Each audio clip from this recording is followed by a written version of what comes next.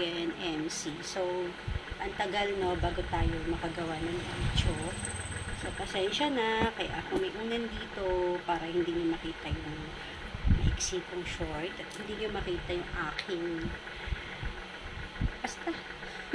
So, ayun, wala nang paligoy-ligoy pa. Ang una kong, ang i-review natin today is itong Bello Essential na tinatawag nilang Rejuvenate for pimple uh, for pimples. Kasi nakalagay dito rejuvenating pimple cream. Tapos dito naman sa isa is day cover whitening vitamin cream. And then ito namang isa is yung Bello Essentials for refining whitening toner for oily skin daw since hindi naman ako oily skin napansin ko lang sa kanya guys hindi ko nababasahin kung ano yung ano niya ha kung ano yung mga ingredient niya kung saan at kung ano, ganito, ganyan, hindi na kailangan. So, bali yung SPF nung day cover nila na ginagamit pang umaga is SPF 30. And then, hindi siya kagaya guys nung ginagamit natin na na mga rejuvenate rejuvenating na set na talagang makikita mo, magpipil yung magpipil yung feel, magpipil yung face mo, magkakaroon ng hapdi, hapdi, hapdi, parang dat-dat na hindi na pantay-pantay. Ilalapit ko lang yung face ko, guys. Ang gamit kong camera is uh, Realme 8 Pro. So, ayun yung active pimples ko kasi since parang magkakaroon na ako. Ayan, no, nakikita nyo. So, isang linggo ko na siyang gamit ang masasabi ko lang is hindi ko masyadong maramdaman kung may pagbabago walang may pagbabago siya nakakatuyo siya ng pimples pero ang mas nakakapagpatuyo kasi talaga ng pimples ko is itong benzoyl peroxide eh. pero sa ibang araw ko na lang i-review to pero the best talaga yun and then masasabi ko lang sa kanya, hindi ko mapapan, hindi ko napapansin kung nagwa-whiten ako. Which is yun yung kiniklaim niya, pampaputi ng face. Tapos, um, hindi siya mahapde. Okay siya sa face, lalo na ito. Napakabango pa nito. Hindi siya mahapdi sa face. Napakabango. Pagka ginamit mo, yun nga lang, pagka ginamit mo parang, parang feeling ko, wala lang. Wala lang. Ganon. Tapos, kapag ka ginamit mo yung, di ba pagka meron tayong mga rejuvenate set na ginagamit paggabi is hindi ganito yung texture niya. Ang texture niya kasi guys is watery. Di ba yung ginagamit natin na mga pang-rejuve, hindi siya watery. Parang ang lagkit nun. Pero pag pinahid mo siya sa face, hindi siya malagkit.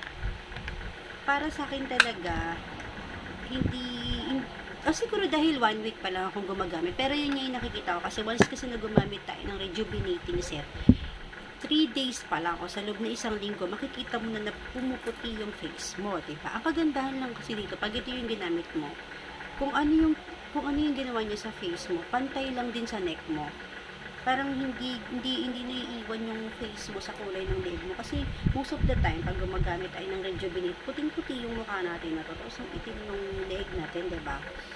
So para sa akin sa mga wala naman masyadong problema sa mukha o kung oily kaya pwede sa iyo to. Pero piliin ko ah, hindi. Siguro sa 100 50-50 kasi kapag ka nilalagay ko to parang masyado pa nga siyang ano sa face eh. Masyado pa nga siyang oily. Tapos, yung sunscreen niya, o yung tinatawag natin day cover, ito, cream talaga siya, hindi siya watery. Mas watery talaga yung panggabi. Hindi ko nga alam eh. Di ba dapat parang yun yung ano sa pang-umag? Hindi ko alam.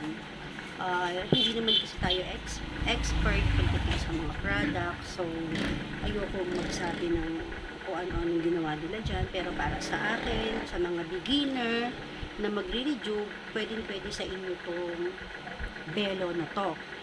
Uh, kung wala naman masyadong problema sa face, wala ka naman pimple, mga ganon. Pwedeng pwede siya sa'yo. Kasi sobrang mild lang niya. Wala kang mararamdaman na hapde. Ah, yung sa sabon, sa sabon niya pala meron. May mararamdaman kayo sa sabon. Hindi ko nga pala pinakita sa inyo yung sabon. Cute yung sabon niya eh. Talagang dito na ako nangalkal, ano. Ayun, teka lang guys. Ito yung sabon niya. Yung sabon, maganda yung maganda yung sabon ng Belo eh. Alam nyo naman yan. Yan. Hindi ko siya ginagamit kasi meron akong ginagamit na facial foam. Yung ginaganon lang. Kung mapapansin nyo bakit hindi ko ginamit, eh yun yung set niya. Okay lang kasi yung facial foam na yon yung ganon, sobrang mild lang din niya. Kaya ito, kahit gumamit, parang alam mo yun, kahit may ipatong ka na iba dito sa Rejuve, na, Rejuve ng Belo, okay lang. Bakit masasabing okay lang? Kasi hindi, hindi parang nagsisip o nagsisag yung face mo kahit gumamit kang ng iba. Yun nga, kasi tulad nga ng sabi ko kasi guys, kaya after ko kasing gamitin sa, kunyari, naglagay na ako nitong rejuvenate, which is ito nga yung medyo watery. Tapos maglalagay ako ng benzoyl peroxide. Kagaya halimbawa nito.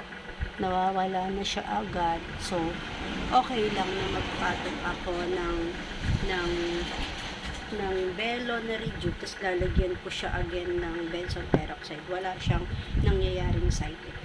Kaya sa mga beginner na gustong gumamit ng Rejuve, sobrang marirecommend ko yung Belo. Kagaya, yun nga, basta sa beginner, yung walang masyadong problema sa face, pwede, pwede siyang gamitin kasi wala talaga siyang hapdi effect sa face. Like, kapag ka gumamit tayo ng ibang Rejuve, like what I've said a while ago, sobrang hapdi, parang feeling mo, meron kang dot-dot dito, mapula sa kabila, mapula sa kabila, parang ganun. So, eto, hindi siya masakit. Yun nga lang, sabi ko kanina, hindi siya ganun na nakakapagpa-whiten. Parang kailangan mo pang bumili ng another sets, set just to prove kung magiging hiyang mo siya or hindi. So, ayun lang guys. Thank you so much. Sana makatulong sa inyo sa mga gustong bumili ng YouTube ng Belo uh, alam ko kasi na maraming na-excite gumamit nito kasi bagong-bago lang siya sa sa atin, sa paningin natin kasi nga ngayon lang naglabas si Belo ng mga set-set niya. Meron pang isang set, hindi ko alam kung ano yun, pero hindi siya review. Hindi ko alam kung ano yun, basta meron pa. Pero para sa akin, pwede nyo talagang gamitin to review na, na to kasi nga sobrang mild lang niya. So, ayun guys ulit. Thank you so much and have a nice day.